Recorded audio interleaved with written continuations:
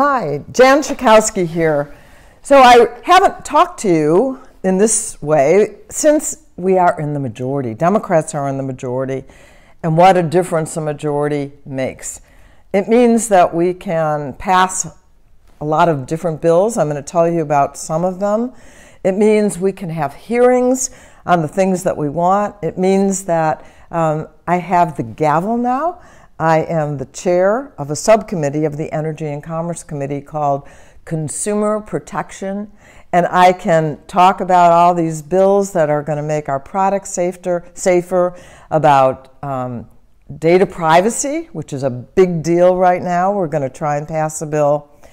But I just wanted to tell you some of the things that we've already done.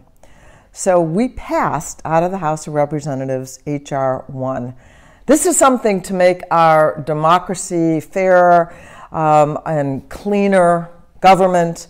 Um, it deals with uh, voting rights, redistricting, all the ways that our uh, government can um, work in favor of ordinary people. Campaign finance reform is in there. So, H.R. 1, we call it our For the People legislation and it really does improve our whole democratic system. It's a fabulous bill.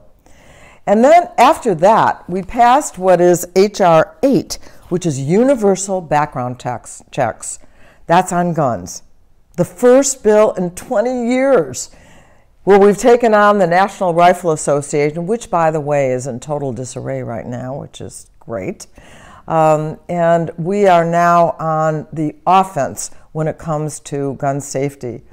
We passed an equal pay for equal work bill, um, which is very exciting. We hope that we'll get that bill passed in the, in, in the Senate. And just today, we passed a bill that's um, uh, H.R. 9. So we've reserved H.R. House Resolution 1 to 10 for some of the most important bills to us. And this is the fourth one we passed, and that says that the United States of America will stay in the uh, Paris Climate Accord, um, that we will meet our standards for re to reduce carbon emissions in the United States of America. And I know many states have been doing that as well.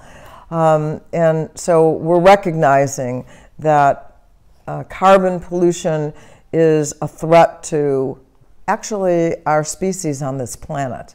Let's get real. So I was happy uh, about that. Um, and, and so I just want to keep you updated on all the things that we're doing.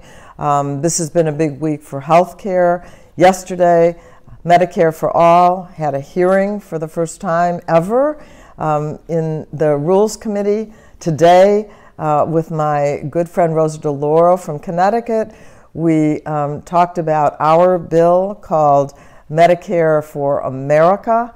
Both of them give universal coverage. All Americans would be covered for health care. It expands Medicare um, to include hearing aids and eyeglasses and dental. It does long term care.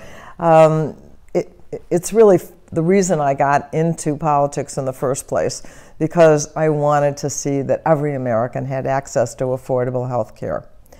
So, in addition, I know you're probably following at least a little bit what's going on with uh, Attorney General Barr and the Mueller report.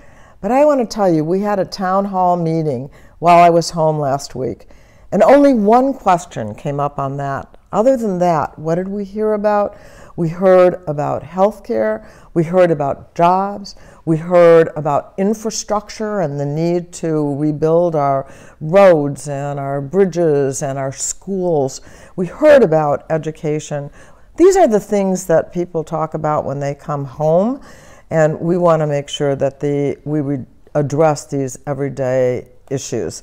Um, so I am anxious to hear from you. Here's one thing you can do for me. What should we call these weekly meetings that I do on um, Facebook Live?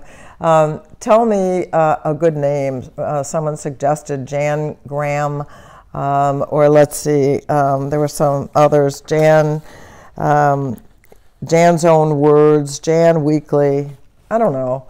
If you can think of something clever for it, then you can send it to Facebook slash Jan Schakowsky, and uh, we'll certainly consider it. It's um, really great to communicate um, with you this way, and I look forward to suggestions too, which you can put on Facebook, of the things that you really want to hear about. Thank you.